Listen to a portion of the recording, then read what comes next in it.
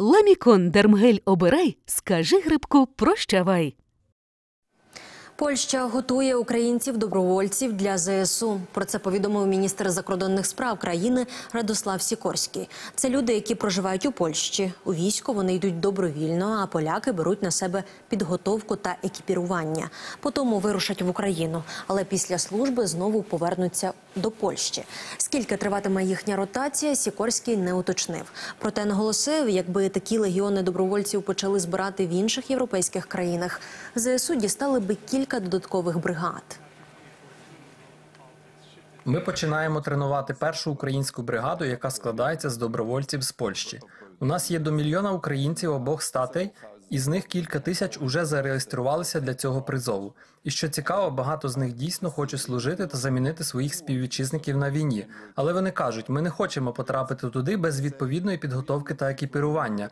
Тому ми збираємося зробити це для них. Тоді ці люди будуть доступні українському уряду як частина, яка має право повернутися до Польщі після закінчення ротації. І якби таке зробила кожна європейська країна, то в Україні було б кілька бригад.